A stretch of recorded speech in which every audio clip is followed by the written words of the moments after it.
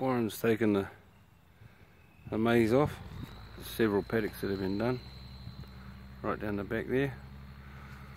That was a pretty productive day on the old pigeons and magpies today.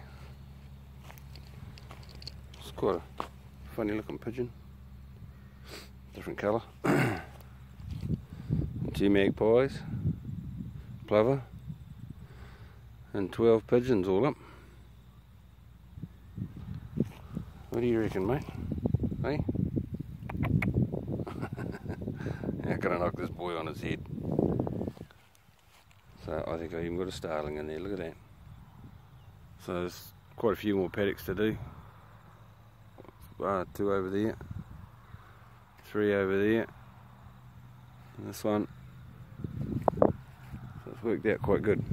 Oh, that's my shooting for the day. See you later.